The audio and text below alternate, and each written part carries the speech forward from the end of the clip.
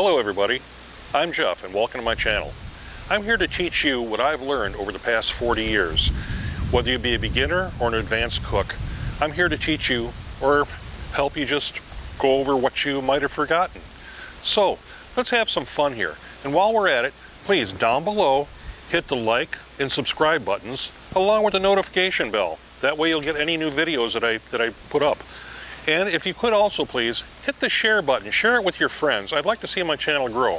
Thank you. Now let's get to cooking.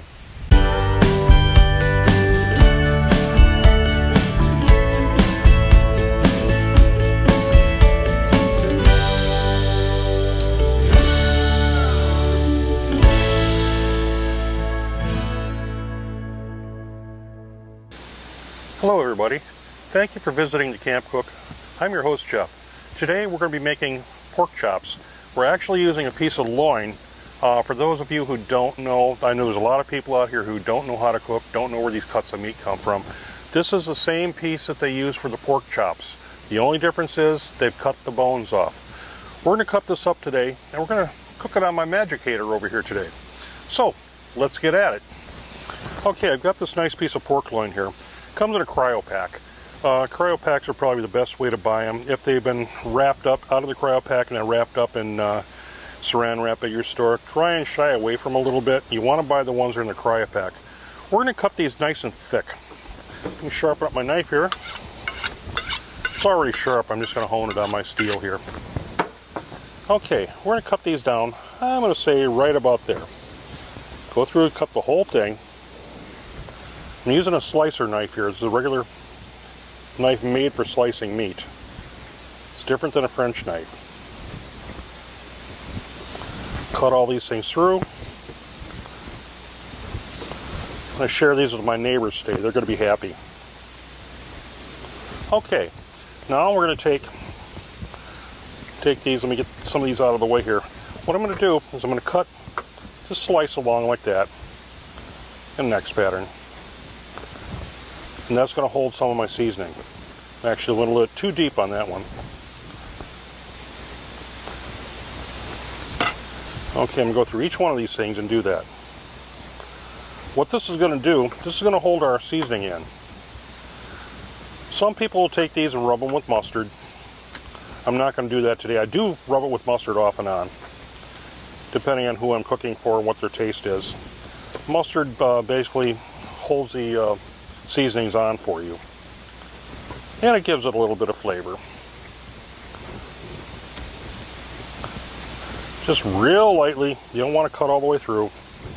Kind of like when you're scoring a ham.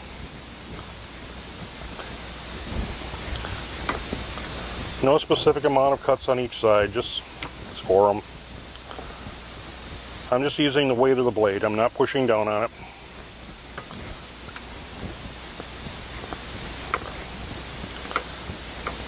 As you can tell, my knife is razor sharp. Be careful with your knives, folks. I would suggest having your knives sharpened if you don't know how to do them yourself. A dull knife is very dangerous. Sharp knives do the job, and you don't get hurt so often. You don't get cut if you're careful. I'm leaving the fat cap on there. The loin is a generally lean cut and it needs that fat. Whenever you have the fat, leave it on there.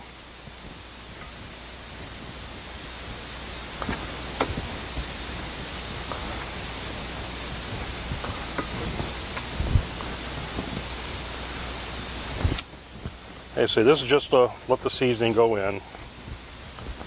Doesn't dry it out or anything. These are real thick cuts. Yeah. Little snack for the chef, a small one. Okay.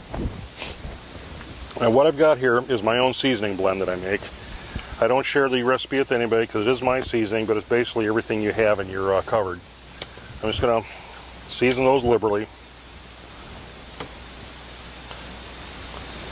I'm not going to put these in the refrigerator this time. Normally you put these in the refrigerator for about an hour, maybe two hours. So let, the, let it dry out a little bit. That way you'll get a nice sear on it when you put it on the uh, grill.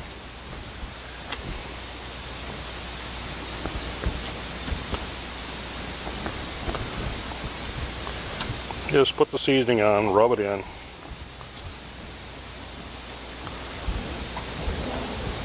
My seasoning is close to uh, essence of Emeril, er, Emeril's essence. So if you want to buy that, you can get the same effect of what I do.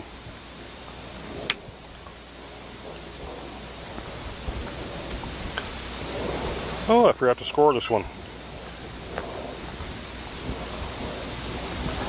That's all it takes.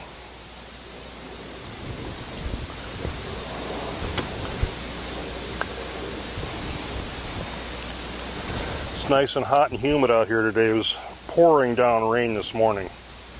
Absolutely pouring down rain.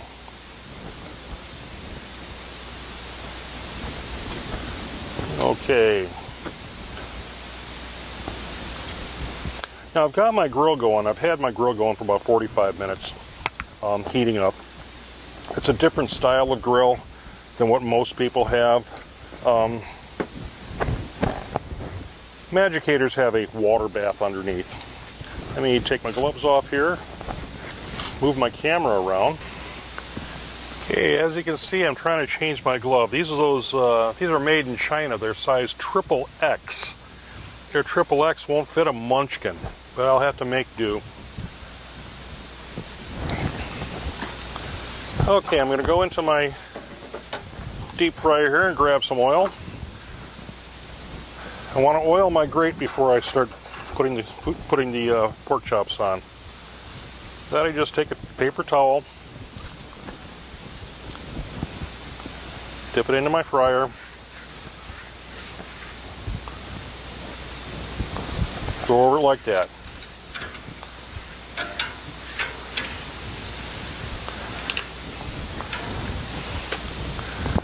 Then I'm going to place my my chops on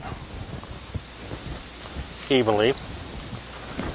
This is a very old grill. This grill is probably 20 years old. That's a small one. I'll put it over here in the corner. Keep an eye on it.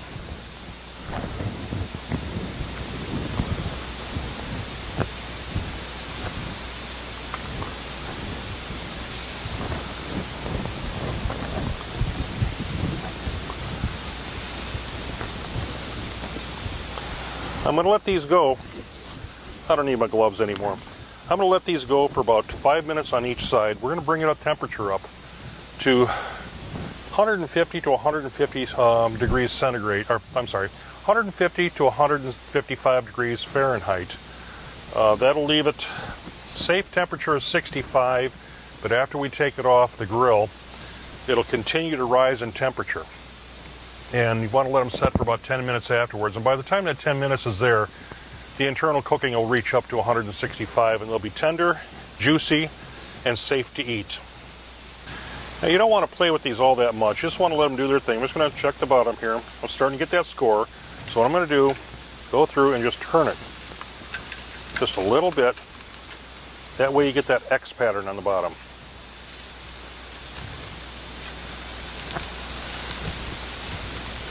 It's just for show, doesn't mean anything.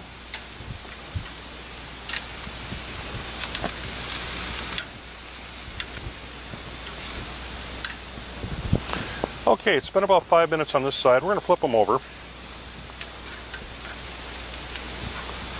Get the other side done here.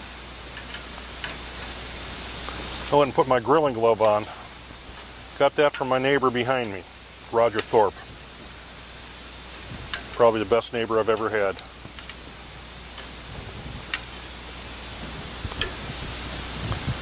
Let those go for another five, five minutes or so. Now you can see in the top here, you see that white stuff coming out. That shows that it's actually cooking inside. And the way this grill here works, like I say, this is a MagiCater. It's got a water bath down below.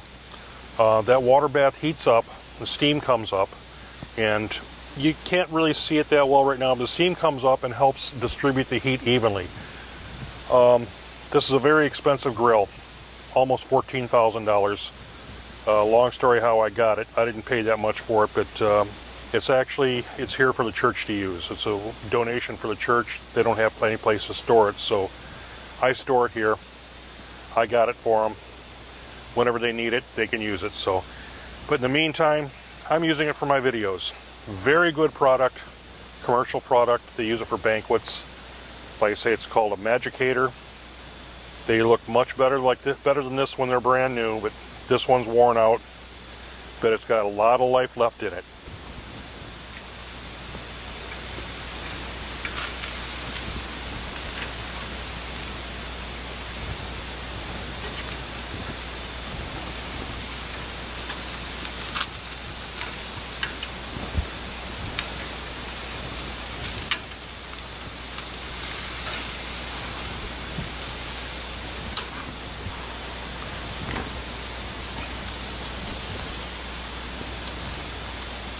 Okay, this one's at 155. I'm going to take it off.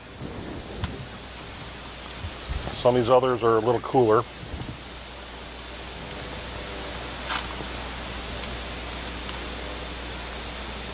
It's still at 147. We're going to let that go a little while longer. 155.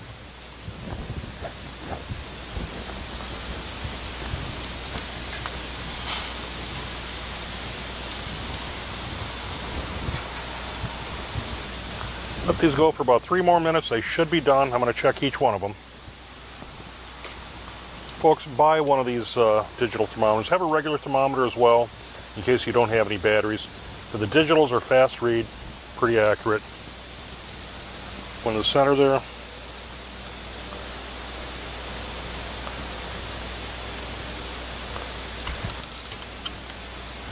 A little longer than that one. That was 149. We're going to let it go a little longer.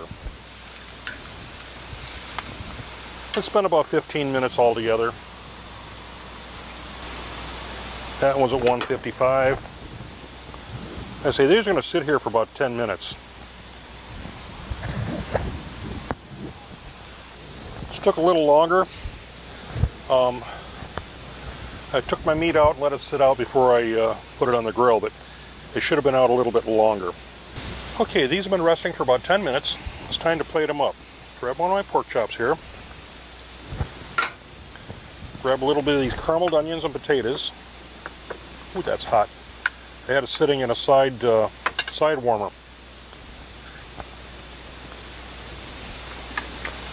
Oh, this looks good.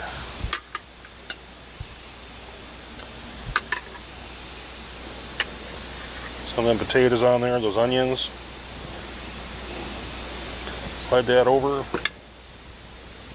Okay, and I got some of this coleslaw here coleslaw always goes with uh, with pork chops. Made this yesterday. Take a nice healthy scoop out, put it on there, clean it up a little bit. That's all there is to it.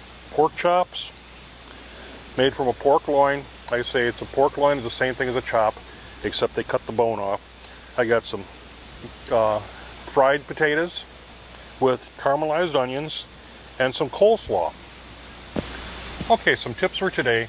Make sure you take your meat out of the refrigerator and let it warm up to room temperature for at least an hour, hour and a half if it's super cold.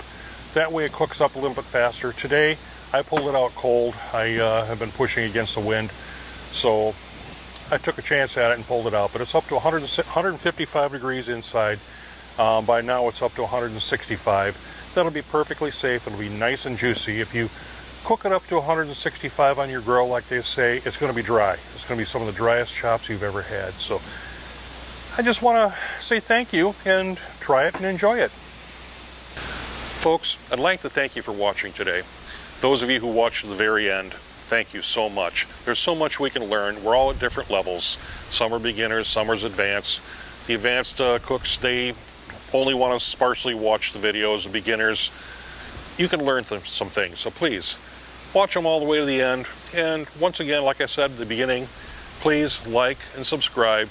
Hit the buttons down below and share it with your friends. Hit the uh, notification button so you know when I have new ones. And as always, may Christ be with you always and God bless. There's only one way to heaven, and that's through Jesus Christ. Thank you and have a blessed week.